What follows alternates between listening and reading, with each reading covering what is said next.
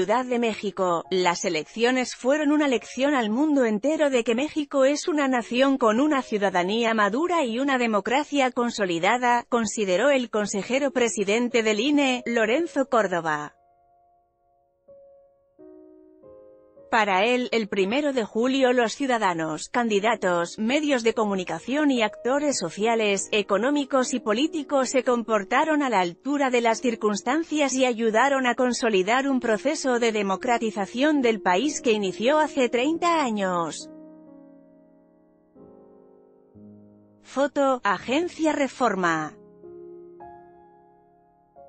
la mejor prueba, mencionó Córdoba, es que este lunes se reanudó la vida cotidiana en un ambiente de paz y tranquilidad, el 2 de julio ya llegó, hoy abrieron los mercados financieros, hoy las rutinas de las familias de los centros laborales han continuado, han reiniciado, y el país está en paz, y creo que esta es la mejor expresión de un éxito de la sociedad mexicana, manifestó Córdoba, el que hoy estemos en paz es creo que es la mejor lección para el mundo de que México es una nación democrática, y déjenme decirlo así, es una lección a nosotros a mismos, que la apuesta que comenzó hace 30 años y que nos tiene hasta aquí, la apuesta de transitar de un régimen autoritario a un régimen democrático, se ha recreado y es algo que hay que celebrar. En entrevista con medios esta tarde, Córdoba reiteró que el balance de la jornada electoral es positivo, pues los ciudadanos salieron a votar de manera masiva, se instalaron prácticamente todas las casillas, hubo pocos incidentes de violencia y los sistemas informáticos del INE funcionaron a la perfección.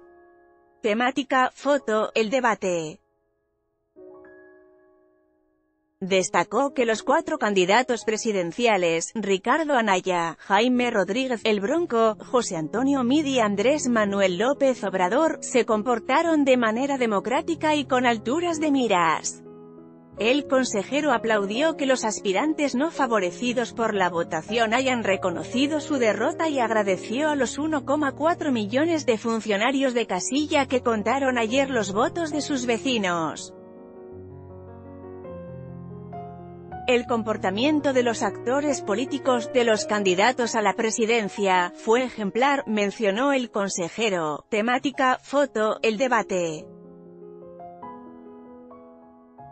Desde hace mucho tiempo creo que no se veía en una contienda electoral, la aceptabilidad de los resultados de la autoridad, aunque sean de manera preliminar, y eso es digno de reconocerse. Córdoba adelantó que una vez que concluyan los cómputos distritales buscará hablar y reconocer a todos los candidatos presidenciales. En esta nota, Elecciones 2018 INE Lorenzo Córdoba Paz Democracia